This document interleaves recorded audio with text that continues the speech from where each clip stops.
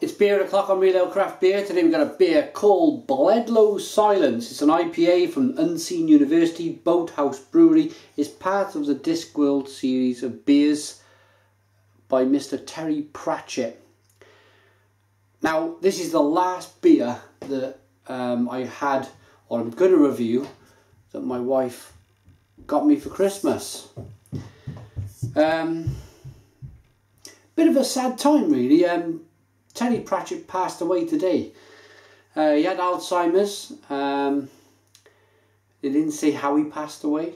Uh, they didn't say, uh, or at this stage they've not said. They just said he's died in his home. But he was a campaigner for, um, you know, when his life fell out of his own hands, when when when he when the Alzheimer's got too much. He was a campaigner for. He visited Switzerland a couple of times uh, to you know where they give you the lethal injection where they, they kind of make that decision for you. The family members make that decision and, and, and him himself would have made that decision. So I, I wonder uh, because they, they've not really given that much detail into how he died I wonder if um, he's kind of he kind of made his own decision. He, he was kind of uh, ready and he was at that stage where um, quite literally, he was losing his mind. Um, but anyway, well, I'm not um, here to debate how or why or who or what or where or you know with his life. Um, I'm not. I, I suppose I'm standing here. Uh, I, I should read his books. I should read. He spent most of his life with the Discworld series of of books um, I think it's a fabulous achievement. At his peak, he was writing two books a year. Uh, I think that's absolutely fascinating, and that's that's a lot of kind of self-driven motivation. Um, I think it's absolutely fantastic what he's achieved in life. So a little toast to Terry Pratchett. Let's get his beer out. Bledlow Silence, one of his characters from his books.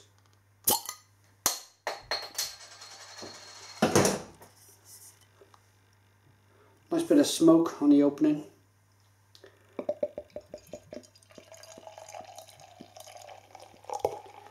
Ah, this looks good.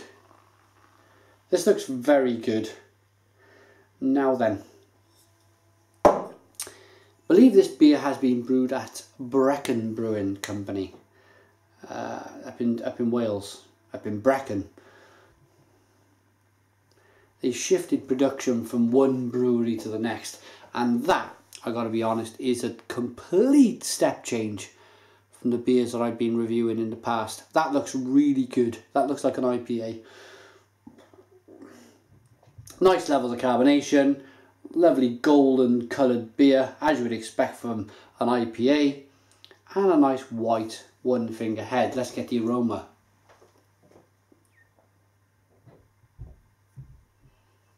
Wow, it's very floral. Loads of flowers in this beer. It's like walking through a garden of daisies, if there is such a thing, or a field of daisies.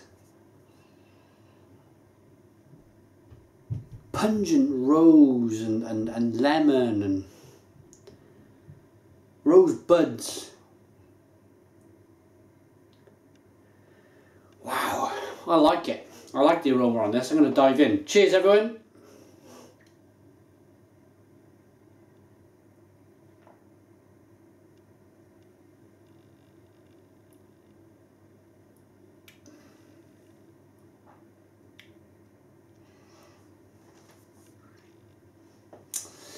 Yeah.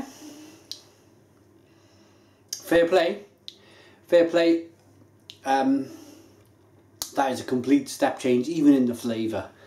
A lovely, lovely biting bitterness from this beer. It's grapefruity, it's lemony, and of course it's still coming through with that kind of rosebud flavour. I'd like to know. Comment in the comments box if you if you know the ingredients of this beer, if you know what they put in there, because it's very nice. It's a 5.5% beer, so it's pushing towards uh, big AV, ABV beers, you know, uh, kind of pushing the boundaries of a session beer.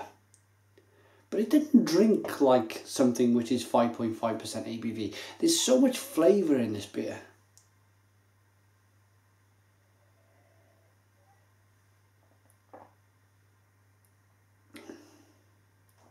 Super smooth, super crisp. And I, I think uh, I'm gonna I'm gonna mention speak now in a moment. I'm going to mention at this stage that uh, I was contacted by Ales by Mail. Um, the guys down there, I've known them for years now. Uh, met I've met them at the certain beer festivals around the country, and we've had a few beers, and uh, they've sent us beers in the past, probably about four years ago now.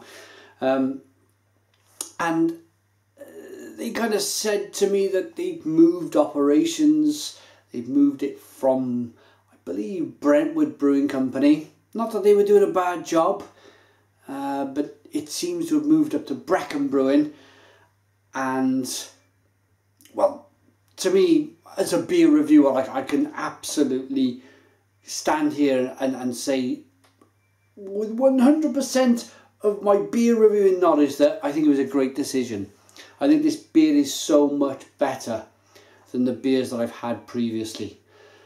I drank a porter that was flat as a pancake. Uh, we drank we drunk some other IPAs and pale ales which which were just not good at all. Either over carbonated, they were kind of spraying everywhere.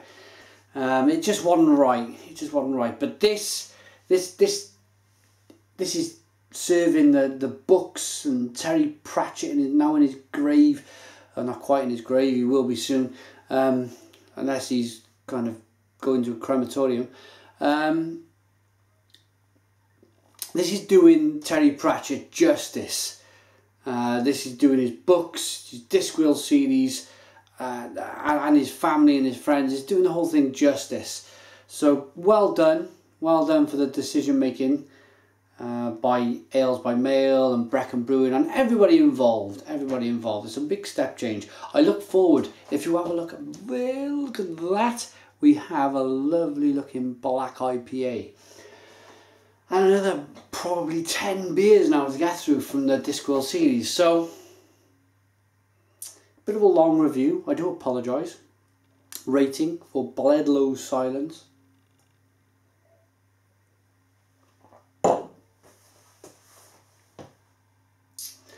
Great stuff. Lovely, pungent, grapefruity, lemon, biscuit malt, breadiness, and a lovely kind of rosebuddy flowery flavour going on. Love it. I'm going to give that an 8 out of 10. It's an 8 out of 10 from Ale Craft Beer.